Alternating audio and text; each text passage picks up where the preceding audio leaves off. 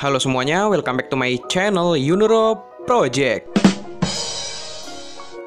Kali ini Honda mempunyai motor Matic baru yang unik dengan basis mesin yang mirip dengan Honda Beat.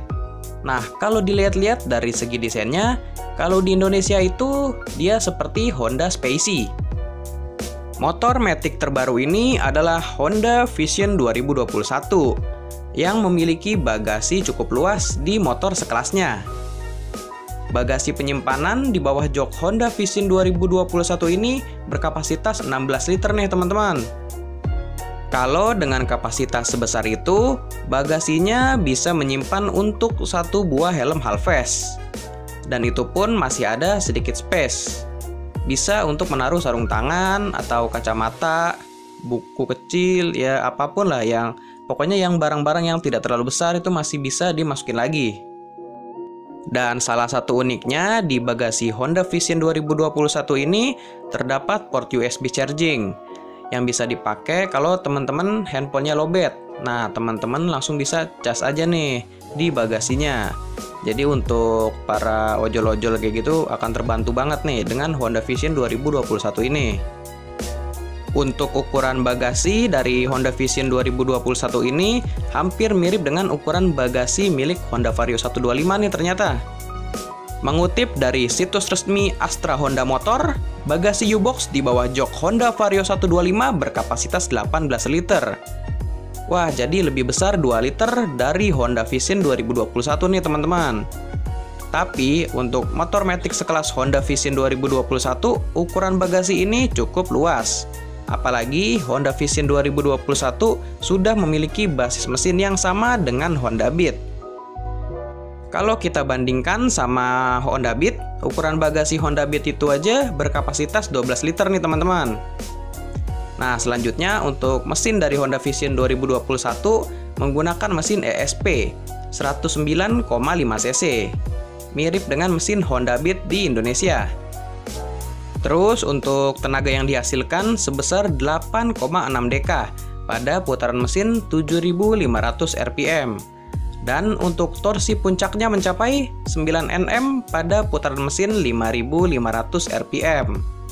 Kalau diperhatikan, Honda Vision 2021 juga punya aura ala skutik Honda SH series yang premium. Nah, untuk Honda Vision 2021 ini baru ada di Vietnam. Jadi kalau di Indonesia itu sempat beredar Honda Spacey. Nah, desainnya itu seperti Honda Spacey. Jadi kayak Honda Vision itu jadi kayak pembaruan dari Honda Spacey gitu loh, karena mirip-mirip. Untuk harganya Honda Vision 2021 di Vietnam baru-baru ini mengalami kenaikan harga karena pandemi COVID-19. Harga jual untuk Honda Vision 2021 berkisar di angka 33,9 sampai 39,8 juta VND atau kalau di rupiah itu sekitar 21 sampai 24 jutaan.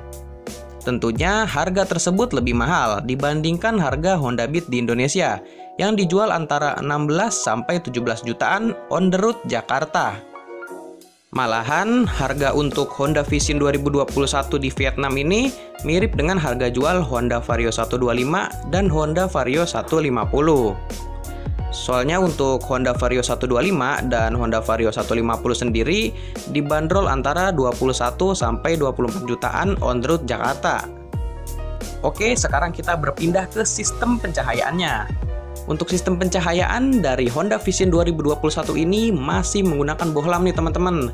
Jadi headlamp, terus lampu sen sama stop lampnya itu masih menggunakan bohlam. Selanjutnya kita pindah lagi ke sektor kaki-kaki. Untuk sistem peredam kejutnya dari Honda Vision 2021 di bagian depan menggunakan suspensi teleskopik. Dan untuk yang suspensi belakangnya menggunakan satu sok yang sebelah kiri aja tuh. Terus untuk sistem pengereman dari Honda Vision 2021 ini di bagian depan sudah menggunakan rem cakram. Dan untuk yang rem belakang masih menggunakan rem tromol. Dan salah satu kecanggihan dari Honda Vision 2021 ini dia sudah menggunakan keyless. Jadi untuk keamanannya sudah terjamin dibandingkan masih menggunakan yang model magnet. Bergeser sedikit ke sisi kirinya, sudah ada juga bagasi kecil ya di sini. Jadi yang bisa tertutup, seperti model-model Honda PCX. Jadi kalau teman-teman naruh handphone di sini terus pas hujan, tidak usah takut handphonenya basah karena bisa ditutup. Selanjutnya kita berpindah lagi ke bagian speedometer. Untuk speedometer dari Honda Vision 2021 ini menggunakan perpaduan antara digital dan analog. Oke, jadi gimana nih menurut teman-teman untuk Honda Vision 2021 tersebut? Tolong tulis jawabannya di kolom komentar. Siapa tahu kan ada orang Honda nonton terus wah bisa nih Honda Vision masuk ke Indonesia lagi kan, tapi dengan penerus dari Honda Spacey gitu kan. Mungkin bisa jadi Honda Spacey yang buat 2021 atau mungkin bisa tahun berikutnya 2022.